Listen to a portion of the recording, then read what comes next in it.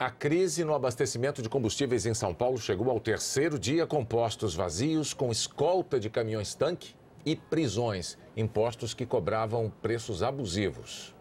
O gerente do posto que vendia gasolina a mais de R$ reais foi para a delegacia. Os preços dos combustíveis no Brasil são livres, mas a polícia considerou os aumentos abusivos. Nesse posto, por exemplo... É sério mesmo? 2,99?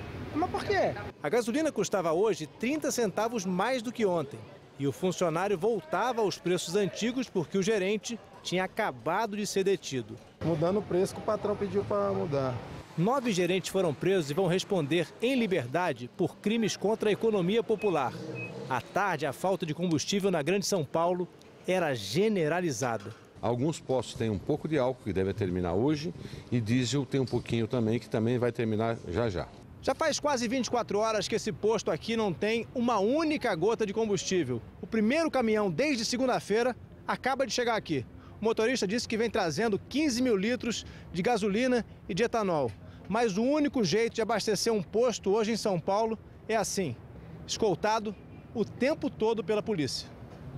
A polícia disse que os caminhoneiros que tentaram sair sem escolta foram obrigados a voltar esses motoristas têm receio de ser expostos à violência, algum tipo de, de, de intimidação. Nós, nós, estamos tendo dificuldade em angariar, aí, juntar motoristas que queiram é, trabalhar, mesmo que sejam contra o movimento de paralisação. O sindicato que representa os caminhoneiros autônomos disse que vai acatar a ordem da justiça, mas admitiu que não tem poder sobre os motoristas como nós temos num país democrático e eles são donos dos caminhoneiros e não são empregados de ninguém, eles vão trabalhar se eles quiserem. Os donos dos postos pedem que a restrição imposta aos caminhões seja suspensa temporariamente. Dê um prazo de sete dias para que os caminhões possam trabalhar, inclusive na marginal Tietê, para que seja reposto com muito mais rapidez os estoques dos postos para poder atender a população. O prefeito de São Paulo diz que essa possibilidade não existe. Se alterássemos, seria a mesma coisa que que ceder ao movimento. A hora agora é de não olhar para trás, olhar para frente.